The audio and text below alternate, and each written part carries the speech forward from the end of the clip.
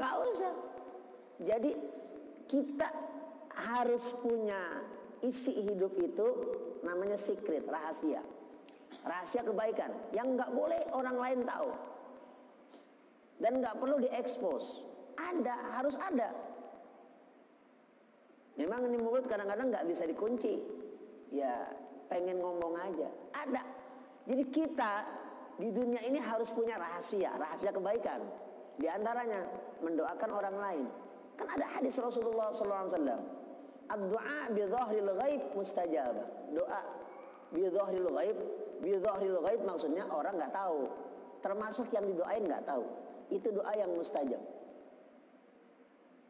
Jadi kalau pengen doa kita mustajab, kiat dari Rasulullah SAW, tip dari Rasulullah SAW, doain orang tapi dia nggak tahu atau orang lain nggak tahu.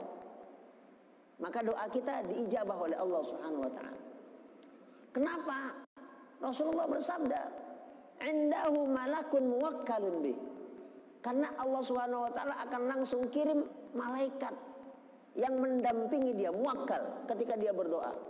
Ketika kita doain orang lain, langsung Allah ngirimin malaikat yang muwakkalun bi, yang mendampingi kita. Yakul, malaikat juga ikut berdoa. Apa isi doa malaikat? Di depan, di samping orang yang tadi ngedoain orang lain. Ya fulan, wala mislin. Kamu juga akan, aku doakan dapat seperti yang kamu minta. Ya Allah, berikan kesehatan buat dia ya Allah kata malaikat kamu juga saya doain biar sehat itu hadis sahih riwayat Imam Muslim nah jadi tapi harus bidhahril ghaib. Artinya bidhahril ghaib itu orang kagak tahu.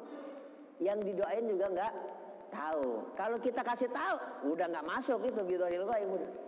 Udah nggak masuk doa yang mustajab udah tahu orang lain. Artinya apa?